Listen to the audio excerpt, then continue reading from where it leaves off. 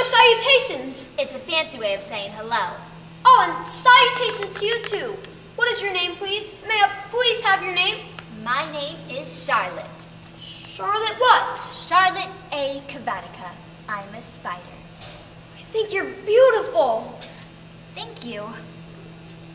And your web is beautiful too. It's my home. I know it looks fragile, but it's really very strong. It protects me. And I trap my food in it.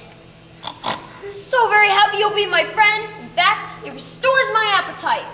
Will you join me? No, thank you. My breakfast is waiting for me on the other side of my web. What are you having? A fly. I caught it this morning. You eat flies? And bugs. Actually, I drink their blood. Ugh. That's the way I'm made. I can't